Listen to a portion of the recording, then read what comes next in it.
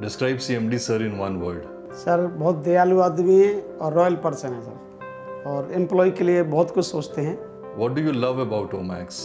CMD sir का vision turning dream into reality जो कि हर एम्प्लॉय को साकार करना चाहिए साहब का विजन को One special memory with CMD sir.